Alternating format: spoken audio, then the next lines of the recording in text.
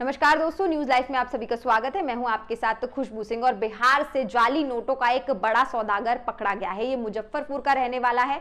Bihar train से जा रहा था। सुल्तान खान इसका नाम है और इसको पटना पुलिस ने पकड़ लिया है। दरअसल, देश में जाली नोटों का एक बड़ा नेटवर्क चलाने वाले आजमगढ़ के सुल्तान खान को रेल पुलिस ने गिरफ़्तार कर लिया है। जीआरपी की एसआईटी टीम ने बक्सर स्टेशन के पास स्थित एक ट्रेन से गिरफ़्तार किया है। सुल्तान खान यूपी के आजमगढ़ ज़िले के मुबारकपुर थाना क्षेत्र का रहने वाला है।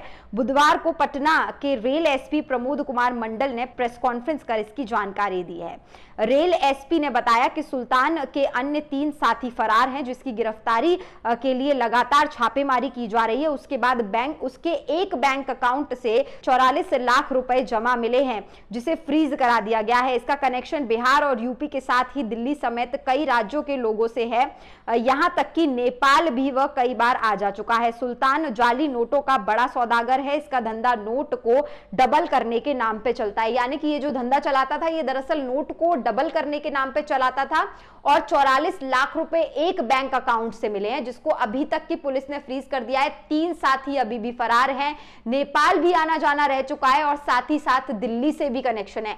आजमगढ़ का रहने वाला है, बिहार से पकड़ा गया दिल्ली और नेपाल से कनेक्शन बताए जा रहे हैं। रेल एसपी ने बताया कि पोपलानी और सुल्तान को आमने सामने बैठाकर पूछताछ की जाएगी। दरअसल दोनों का संबंध जाली नोटों के कारोबार से रहा है। आशंका है कि पटना से वह पचपन लाख रुपए के जाली नोट की खेप को लेकर ही मगध एक्सप्रेस से नई दिल्ली जा रहा था। रेल एसपी के अनुसार जब उस बैग को बरामद किया गया तो वह खाली था। जाली नोट का धंधा करने के मामले में पारस कुमार पोपलानी की गिरफ्तारी भी हो गई है।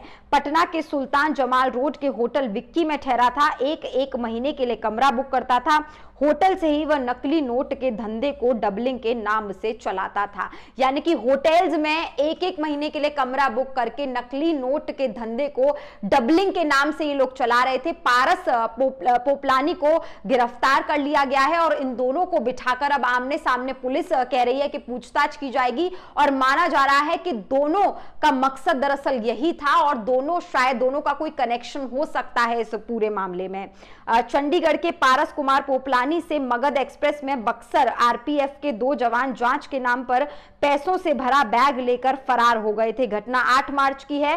पोपलानी पटना से नई दिल्ली जा रहा था। पोपलानी इसकी शिकायत नई दिल्ली पहुँचने के बाद की। उन्होंने ट्वीट कर रेल मंत्रालय को भी बताया। इसके बाद रेल मंत्रालय ने संज्ञान लिया, जिसके बाद पटना रेल पुलिस ने आठ सदस्यीय एसआईटी बनाकर जाँच के लिए बिठा दिया। यानी कि दो लोग जो बक्सर आरपीएफ के दो जवान के नाम पर, जाँच के नाम पर बैग लेकर भाग गए और उसके बाद पोपलानी ने जब इसकी पुलिस को इंतला की तो उसके बाद ये पूरा मामला पुलिस के संज्ञान में आया, जिसके बाद आठ लोगों की एसआईटी बनाकर जाँच लगातार चल रही थी और उसी जाँच के दौरान सुल्तान खान को गिरफ़्तार किया गया, जिसका लगातार कनेक्शन बताया जा रहा है, जिसके एक अकाउंट से चौरालीस लाख रुपए मिले हैं। पचपन लाख रुपए लेकर ये दरअसल दिल्ली जा रहा था, बिहार से, लेकिन उस बैग में कुछ भी नहीं मिला। लेकिन पैसे डबलिंग के नाम पर यह पूरा धंधा चलाता था और अभी भी इसके तीन साथी फरार हैं, जिनको पुलिस ढूंढ रही है, लगातार छापेमारी चल रही है और ये पूरा मामला आगे क्या अतूल लेता है, क्या कुछ इस पूरे मामले में होता है, वो देखने के लिए आप बने रहिए न्यूज़ लाइव के साथ। अगर आपको वीडियो पसंद आया है